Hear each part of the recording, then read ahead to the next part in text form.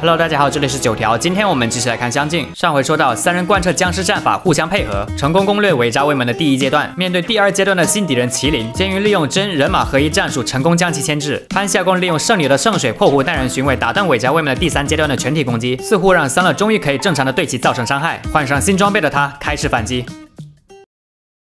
卫门双手持刀进行朴素且强大的斩击，头锤弹反，利用战角斗最粗大的脚弹开刀刃。由于用头部解决了对方的进攻，三乐得以解放双手，迅速进行反击，击中对方铠甲龟裂的位置。然而似乎还是没有多少伤害反馈。然后三乐开始思考策略，虽然没有办法和潘西亚共花费的大价钱相比，但为了这一战，我也是快破产了。收下吧，价值八万块的这招。说罢，三乐对着空气进行了两次斩击，发动致命刃术水晶之月。只见对方背后的空气中浮现了一圈波纹，中心处出现了几滴液体，而后像是受到了横向重力，靠近对方后背。下一瞬间，水柱喷涌而出，化作了三乐刚才原地施展的两次斩击，命中尾扎卫门的后背。水镜之月，顾名思义，正面施展攻击，实际效果以镜像的形式出现在目标的后方，在对方没有准备的情况下，命中率极高。但这一招的战略意义绝不仅仅如此。突然受到来自后方的威胁，就像是上课或者上班的时候，背后突然刷出个班主任或者领导，任何人都会条件反射的转身。然而，正如水面上的月亮倒影。虽然会让人觉得真实，但终究只是虚影。此时的三乐便从对方视野里消失了。于是他把握这个宝贵的瞬间，发动当没有吸引到对方仇恨时，威力会大幅提升的暗杀突刺，然后再无缝衔接钻头穿刺。这一套 combo 打得伪扎卫门双膝跪地，三乐笑容洋溢。潘夏贡直呼这什么东西，却又觉得非常合理。这才是他认识的三乐，越是身处险境，越能发挥技巧和策略。现在压力来到了他们这里，如果这边的战斗无法解决。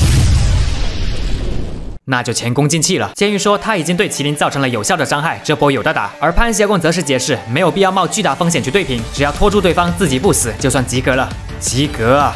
监狱再次发动神傀儡蛇捆绑住对方，接着说道：“但是我想拿满分呢。”话虽然说的很帅，然而下一秒却像悠悠球一样被迅速砸到地上，从大放豪言到被来回甩，再到躺地上血量归零，仅仅用了四格的分镜，简称帅不过四格。过程中还又贡献了一个表情包，堪称本作除了艾摩尔以外的表情包担当。无奈的潘西亚贡只能将其复活。此刻的他就像费心操劳的老母亲，两边战场来回照顾。看到监狱如此执着于正面对决，他给了他一瓶魔魂丸药，效果是十五分钟内让使用者拥有九十九级的属性。这么好的东西不早点拿出来留着过年？潘西亚贡解释，因为有很大的副作用，简单来说就是喵喵喵。还没等他说。完，监狱再次贡献一个表情包，并大口吞下。我去，味道还可以啊，高风脆水果味。副作用，管他呢，我要把它揍成废铁，拿去论斤卖。突然，监狱的视野里颜色反转，分辨率从四 K 变成了七二零 P，这就是副作用吗？不过，如果只是这样的话，那还不。这回轮到潘西亚贡打断了说话。最可怕的副作用是每过三十秒减少一级，每过三十秒减少一级，三十秒减少一级，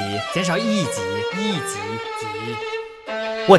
你妈的！监狱用了一个漫画分镜都放不下的梯形嘴，表达出自己的惊讶与恐惧，一边躲避漫天的导弹，一边喊道：“也就是说，十五分钟后我会减少三十级，怎么不早说啊？”其实我想说来着，不信你把视频进度条往前拉一下。好耶，那接下来我把天秤剩下的二百点属性点读下了吧。啊！正当监狱感叹女人心赛砒霜的时候，麒麟双拳砸地，他极限躲开，然后双手合拢，融合赤黑绯三色拳气，发动混合拳气活飞彩。而潘西亚贡也是 buff 拉满，拿出长枪，紧接着监狱发动肉搏战，奔向麒麟，然后发动双双拳冲击。左拳击打对方右膝，刻下十字印记，最后对其倾泻刻完药后的全身之力，一套连续技，终于打得麒麟有点宕机。看到这个绝佳时机，潘小公果断追击，发动日光矛尖刺向麒麟右膝。然而麒麟虽然受到了伤害，装甲却依旧健在。正当潘小公还在思考对策的时候，对方举起那像是开了路飞的三档一样的大手对准了他，仿佛是听到了我的解说。潘小公第一时间闪躲，然而右手的失去还是躲不过。但是通过开始到现在的战斗，他观察到对方装甲最后的部位是腹部，应该是在保护某个弱点。于是他对监狱说：“我有一个计划。”要听吗？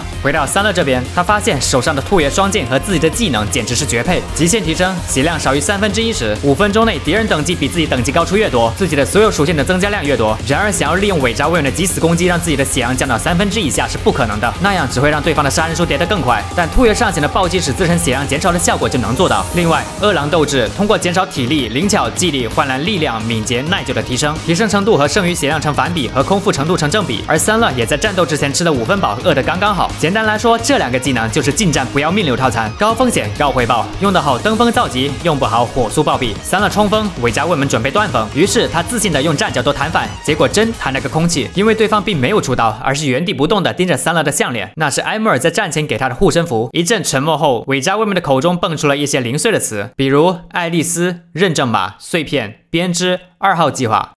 完全听不懂，难道又是因为我跳过了新手村吗？只见对方卸掉护臂，然后说道：“胆敢践踏我的誓言，便要死于我的擎天大阵之下。”而后蒸汽消失，取而代之的是缠绕全身的令人窒息绝望的漆黑气息。此刻的他散发出之前三个阶段都不具有的压迫力，仿佛是地狱归来的修罗武士。熟悉的准备动作依旧是断风。正当三乐轻松躲过后，想要取笑对方是换皮怪时，韦家卫门的刀并没有收回来，而是顺势在空中引雷，发动雷中。